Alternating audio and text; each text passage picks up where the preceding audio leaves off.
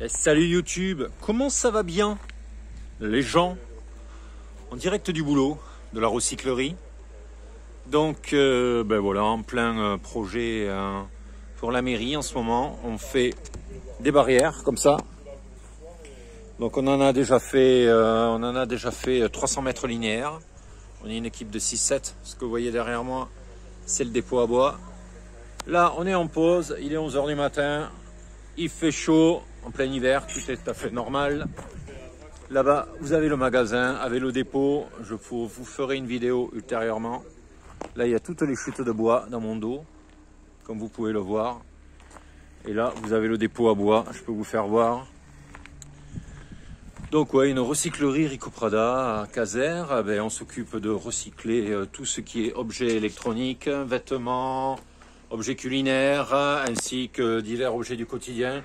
Donc tout ça c'est du bois, des palettes qu'on récupère chez des particuliers, que des gens nous amènent, ou des trucs dans le genre. Donc vous pouvez le voir, il y en a pas mal, il y a de quoi faire, il y a de quoi sérieusement faire. Voilà. Je vais vous faire voir l'atelier à menuiserie vite fait. Tant que je suis en pause.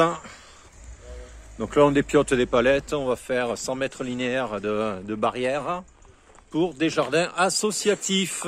Des jardins associatifs, c'est quoi, Jérôme? C'est des jardins loués par la mairie gratuitement pour les particuliers. Et après, dessus, on va y mettre des cabanes de jardin comme ça, là, que nous avons construit à partir d'éléments de palettes récupérés. Donc là, vous en avez 25. Il n'y a pas l'infrastructure de fait. Je me mets au milieu, chiche. Voilà. Donc là, vous voyez, on a fait tout ça. Donc ça, c'est des morceaux de palette avec un angle recoupé, vissé, collé. Là, vous avez la structure. Voilà. Et à l'extérieur, on va y mettre des planches qui sont là-bas. Je vais vous faire voir vite fait. Tant que je suis en pause. Et là, vous avez l'atelier de menuiserie. Voilà. Où je travaille à longueur de temps. Donc ça, c'est des bacs pour le magasin. Les barrières, elles sont là, mais il nous en faut euh, beaucoup, beaucoup, beaucoup.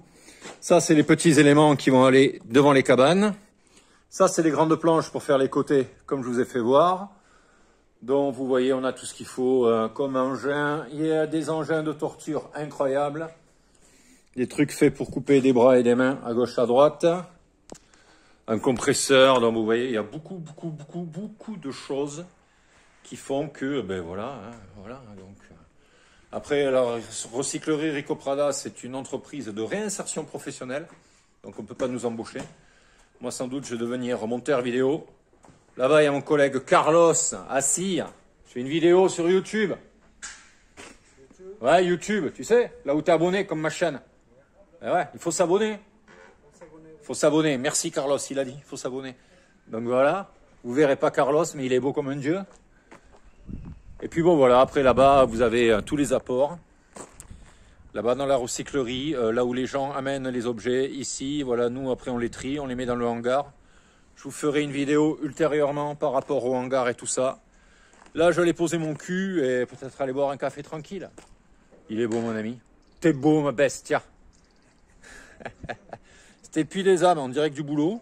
Respectez-vous, faites pas les fous, recyclez un max, que des bonnes choses, beaucoup d'amour et de bonheur et beaucoup de bon sens. Ciao, ciao